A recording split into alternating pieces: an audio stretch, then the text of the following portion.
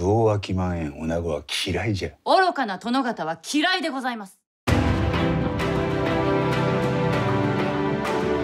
最低最悪の出会いを果たした格好ばかりの信長とその命を狙う濃姫。お前様のようなうつけあ？いつでも寝首をかいたるわ。お主の役目はわしの妻じゃ！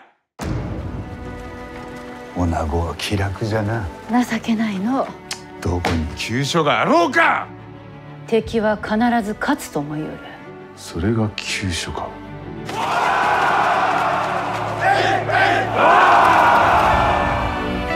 海を手に入れその向こうらへ行ってみたい。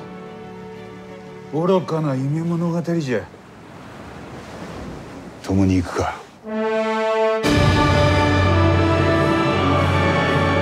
ご自身の夢よりか大切なものができたからでございましょう。もう少し。心あるお言葉を。我人にあらず。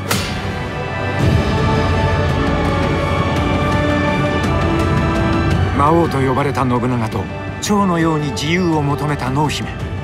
夢を追いかけた二人が最後に見つけたものとは。わしの首は死んでもやらんぞ。レジェンドバタフライ